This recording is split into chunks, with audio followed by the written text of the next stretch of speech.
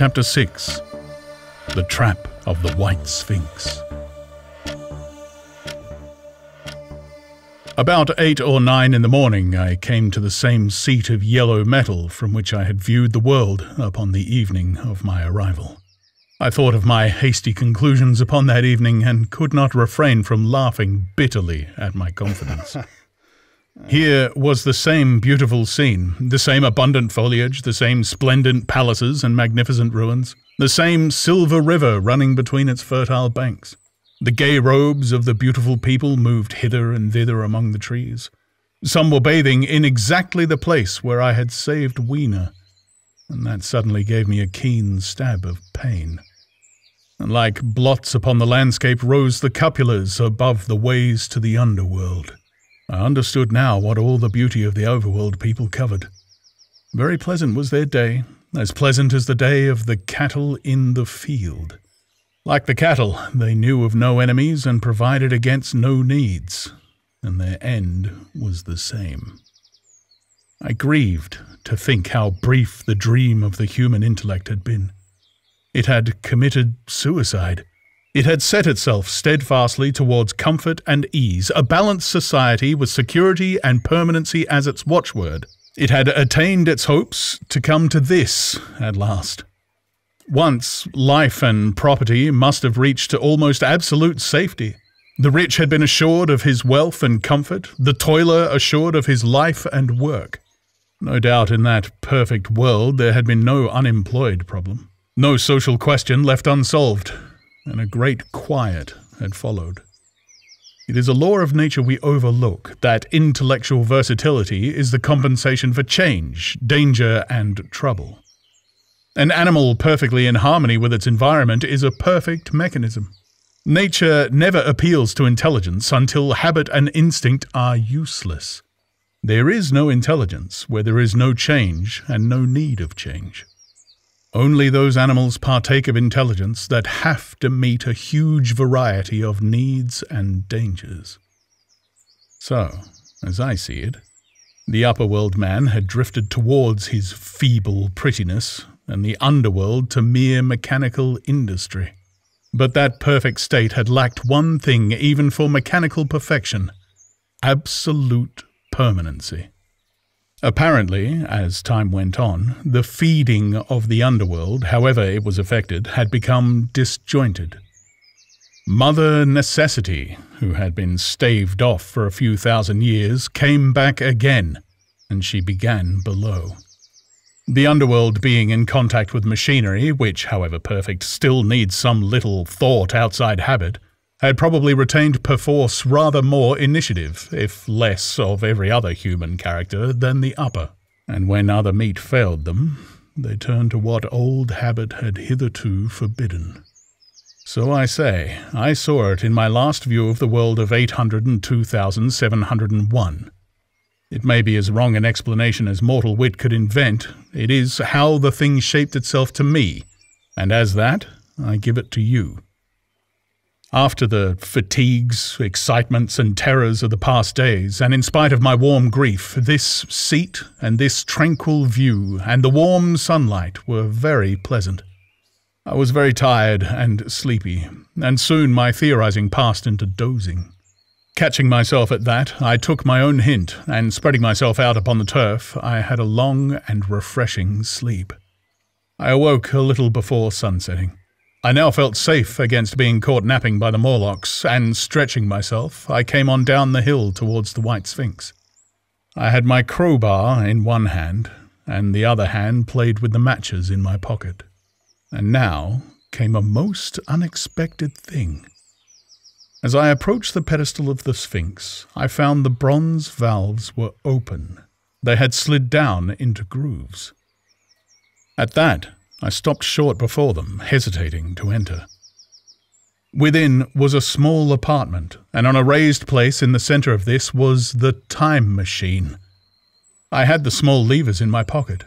So here, after all my elaborate preparations for the siege of the White Sphinx, was a meek surrender. I threw my iron bar away, almost sorry not to use it. A sudden thought came into my head as I stooped towards the portal. For once, at least, I grasped the mental operations of the Morlocks.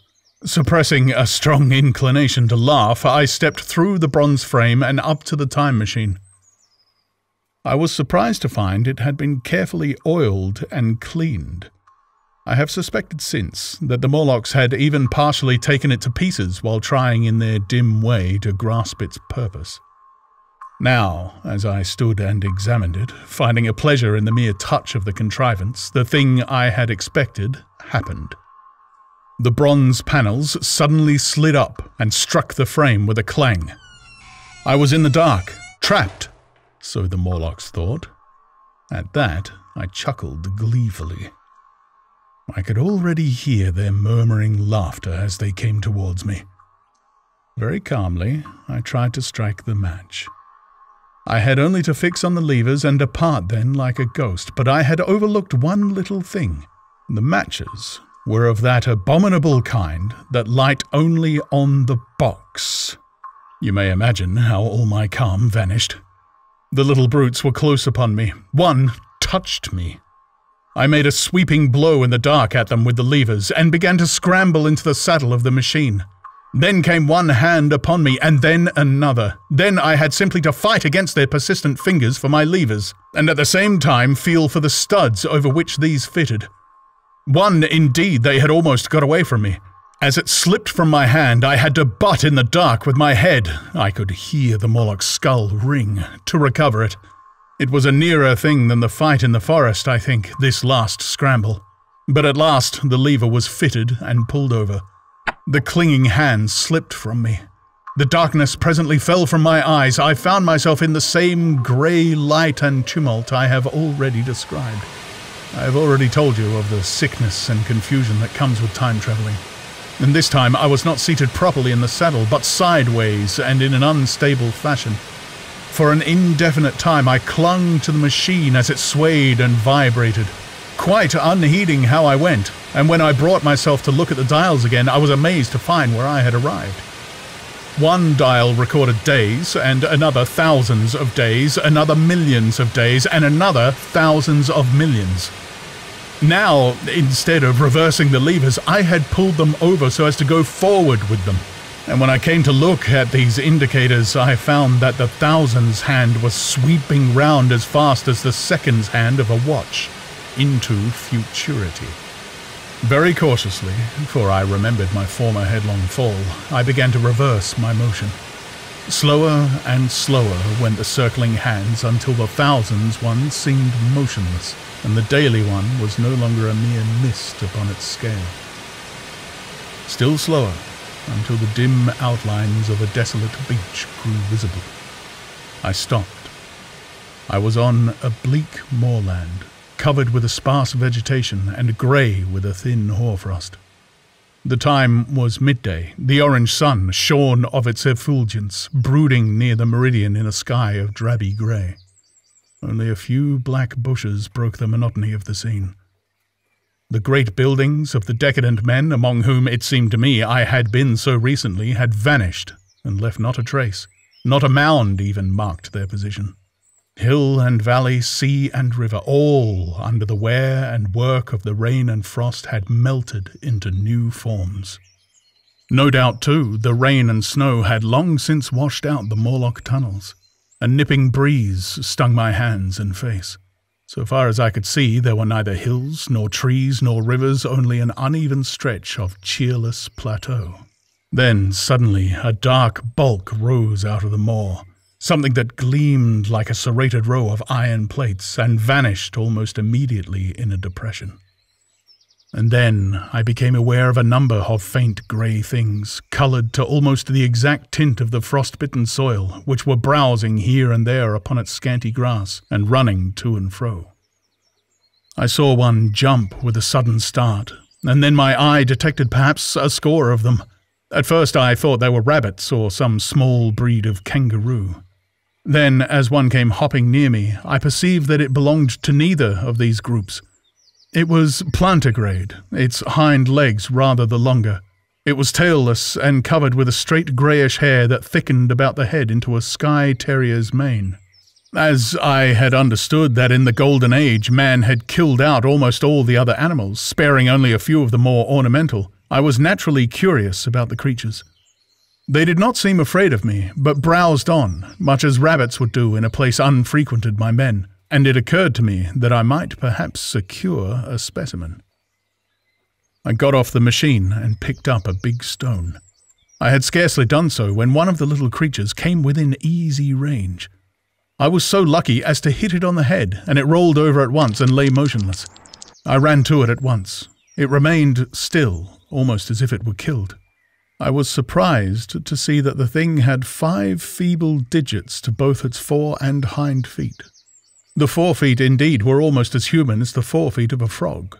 It had, moreover, a roundish head with a projecting forehead and forward looking eyes obscured by its lanky hair. A disagreeable apprehension flashed across my mind.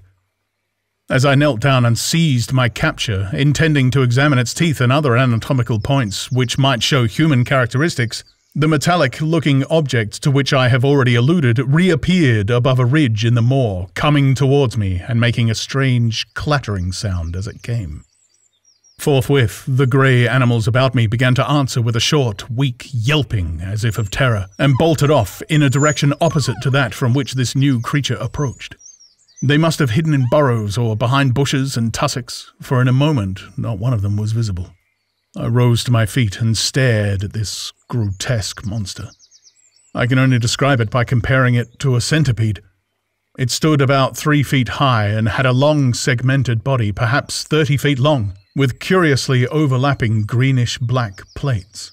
It seemed to crawl upon a multitude of feet, looping its body as it advanced. Its blunt round head, with a polygonal arrangement of black eye spots, carried two flexible, writhing, horn like antennae. It was coming along, I should judge, at a pace of about eight or ten miles an hour, and it left me little time for thinking. Leaving my grey animal, or grey man, whichever it was, on the ground, I set off for the machine. Halfway, I paused, regretting that abandonment, but a glance over my shoulder destroyed any such regret. When I gained the machine, the monster was scarce fifty yards away. It was certainly not a vertebrated animal. It had no snout, and its mouth was fringed with jointed dark coloured plates, but I did not care for a nearer view. I traversed one day and stopped again, hoping to find Colossus gone and some vestige of my victim. But, I should judge, the giant centipede did not trouble itself about bones. At any rate, both had vanished. The faintly human touch of these little creatures perplexed me greatly. If you come to think, there is no reason why a degenerate humanity should not come at last to differentiate into as many species as the descendants of the mudfish who fathered all the land vertebrates. I saw no more of any insect colossus, as to my thinking the segmented creature must have been. Evidently, the physiological difficulty that at present keeps all the insects small had been surmounted at last, and this division of the animal kingdom had arrived at the long awaited supremacy which its enormous energy and vitality deserve. I made several attempts to kill or capture another of the greyish vermin, but none of my missiles were so successful as the first. And after perhaps a dozen disappointing throws that left my arm aching, I felt a gust of irritation at my folly in coming so far into futurity without weapons or equipment. I resolved to run on for one glimpse of the still remoter future, one peep into the deeper abysm of time, and then to return to you and my own epoch. Once more I remounted the machine, and once more the world grew hazy and grey. As I drove on, a peculiar change crept over the appearance of things. The unwanted greyness grew lighter then, though I was travelling with prodigious velocity, the blinking succession of day and night, which was usually indicative of a slower pace, returned and grew much more marked. This puzzled me very much at first. The alternations of night and day grew slower and slower, and so did the passage of the sun across the sky, until they seemed to stretch through centuries. At last, a steady twilight brooded over the earth, a twilight only broken now and then when a comet glared across the darkling sky. The band of light that had indicated the sun had long since disappeared, for the sun had ceased to set. It simply rose and fell in the west, and grew ever broader and more red. All traces of the moon had vanished. The circling of the stars, growing slower and slower, had given place to creeping points of light. At last, some time before I stopped, the sun, red and very large, halted motionless upon the horizon, a vast dome glowing with a dull heat, and now and then suffering a momentary extinction. At one time it had for a little while glowed more brilliantly again, but it speedily reverted to its sullen red heat. I perceived by this slowing down of its rising and setting that the work of the tidal drag was done. The earth had come to rest with one face to the sun, even as in our own time the moon faces the earth.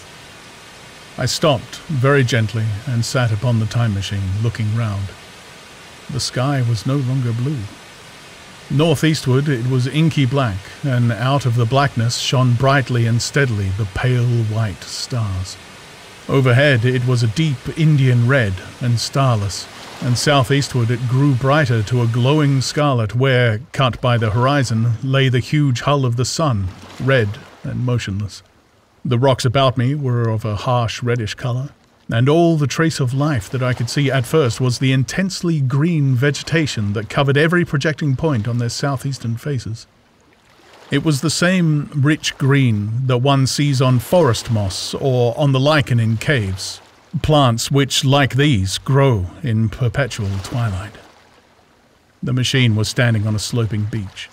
The sea stretched away to the southwest, to rise into a sharp, bright horizon against the wan sky. There were no breakers and no waves, for not a breath of wind was stirring. Only a slight, oily swell rose and fell like a gentle breathing, and showed that the eternal sea was still moving and living. And along the margin, where the water sometimes broke, was a thick incrustation of salt, pink under the lurid sky. There was a sense of oppression in my head, and I noticed that I was breathing very fast. The sensation reminded me of my only experience of mountaineering, and from that I judged the air to be more rarefied than it is now. Far away up the desolate slope, I heard a harsh scream and saw a thing like a huge white butterfly go slanting and fluttering up into the sky, and, circling, disappear over some low hillocks beyond. The sound of its voice was so dismal that I shivered and seated myself more firmly upon the machine. Looking round me again, I saw that quite near, what I had taken to be a reddish mass of rock was moving slowly towards me. Then I saw the thing was really a monstrous crab like creature. Can you imagine a crab as large as yonder table, with its many legs moving slowly and uncertainly, its big claws swaying, its long antennae like carters' whips waving and feeling? And its stalked eyes gleaming at you on either side of its metallic front. Its back was corrugated and ornamented with ungainly bosses, and a greenish incrustation blotched it here and there. I could see the many palps of its complicated mouth flickering and feeling as it moved. As I stared at this sinister apparition crawling towards me, I felt a tickling on my cheek as though a fly had lighted there. I tried to brush it away with my hand, but in a moment it returned, and almost immediately came another by my ear. I struck at this and caught something thread like. It was drawn swiftly out of my hand. With a frightful qualm, I turned and I saw that I had grasped the antennae of another monster crab that stood just behind me. Its evil eyes were wriggling on their stalks, its mouth was all alive with appetite, and its vast ungainly claws smeared with an algal slime were descending upon me. In a moment, my hand was on the lever, and I had placed a month between myself and these monsters, but I was still on the same beach. I saw them distinctly now as soon as I stopped. Dozens of them seemed to be crawling here and there in the somber light among the foliated sheets of intense green. I cannot convey the sense of abominable desolation that hung over the world. The red eastern sky, the northward blackness, the salt dead sea, the stony beach crawling with these foul, slow stirring monsters, the uniform poisonous looking green of the lichenous plants, the thin air that hurts one's lungs, all contributed to an appalling effect. I moved on a hundred years, and there was the same red sun, a little larger, a little duller, The same dying sea, the same chill air, and the same crowd of earthy crustacea creeping in and out among the green weed and the red rocks. And in the westward sky I saw a curved pale line like a vast new moon. So I travelled, stopping ever and again in great strides of a thousand years or more, drawn on by the mystery of the earth's fate watching with a strange fascination the sun grow larger and duller in the westward sky, and the life of the old earth ebb away. At last, more than thirty million years hence, the huge red hot dome of the sun had come to obscure nearly a tenth part of the darkling heavens. Then I stopped once more, for the crawling multitude of crabs had disappeared, and the red beach, save for its livid green liverworts and lichens, seemed lifeless. And now it was flecked with white. A bitter cold assailed me. Rare white flakes ever and again came eddying down. To the northeastward, the glare of snow lay under the starlight of the sable sky, and I could see an undulating crest of hillocks, pinkish white. There were fringes of ice along the sea margin, with drifting masses further out, but the main expanse of that salt ocean, all bloody under the eternal sunset, was still unfrozen. I looked about me to see if any traces of animal life remained. A certain indefinable apprehension still kept me in the saddle of the machine, but I saw nothing moving, in earth or sky or sea. The green slime on the rocks alone testified that life was not extinct. A shallow sandbank had appeared in the sea, and the water had receded from the beach. I fancied I saw some black object flopping about upon this bank, but it became motionless as I looked at it, and I judged that my eye had been deceived and that the black object was merely a rock. The stars in the sky were intensely bright and seemed to me to twinkle very little. Suddenly, I noticed that the circular westward outline of the sun had changed, that a concavity, a bay, had appeared in the curve. I saw this grow larger for a minute, perhaps, I stared aghast at this blackness that was creeping over the day, and then I realized that an eclipse was beginning. Either the moon or the planet Mercury was passing across the sun's disk. Naturally, at first I took it to be the moon, but there is much to incline me to believe that what I really saw was the transit of an inner planet passing very near to the Earth. The darkness grew apace. A cold wind began to blow in freshening gusts from the east, and the showering white flakes in the air increased in number. From the edge of the sea came a ripple and whisper. Beyond these lifeless sounds, the world was silent. Silent! It would be hard to convey the stillness of it.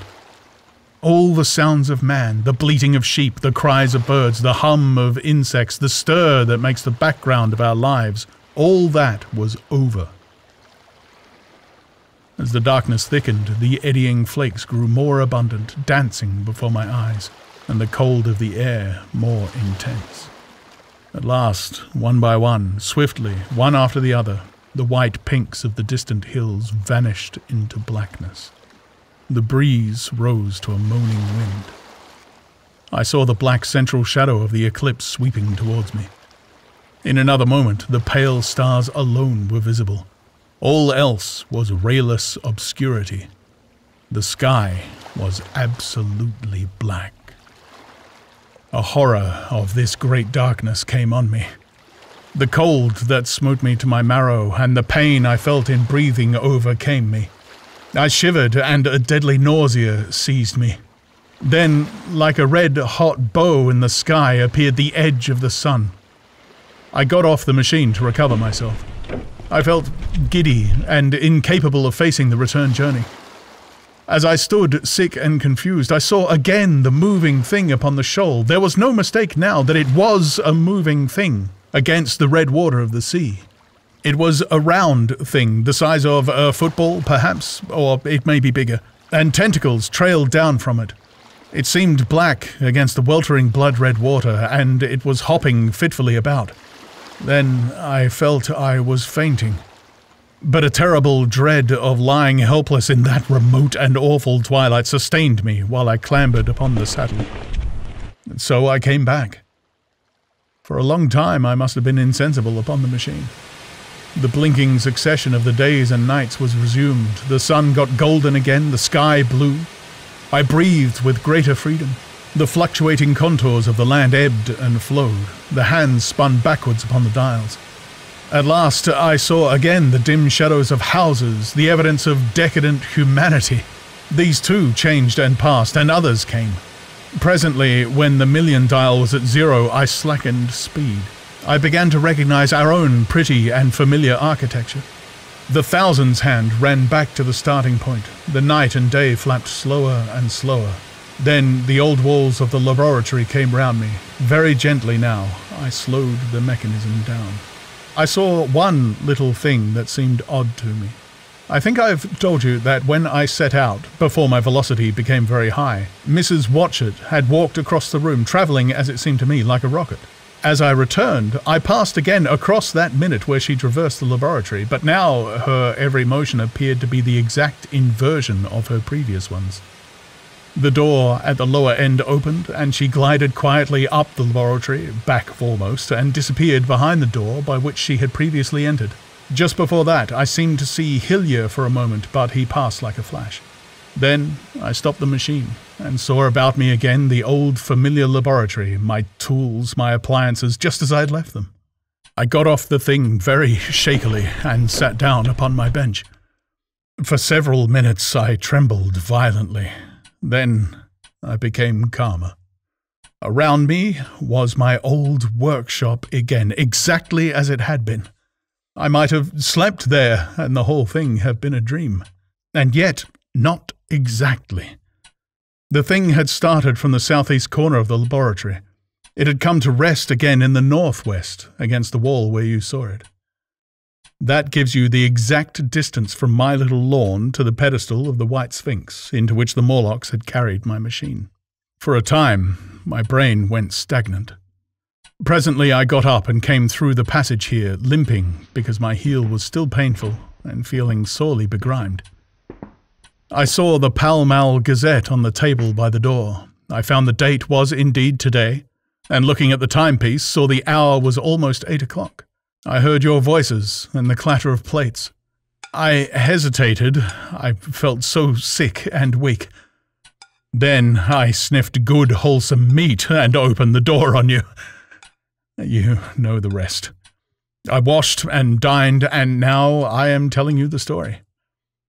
I know, he said after a pause, that this will be absolutely incredible to you.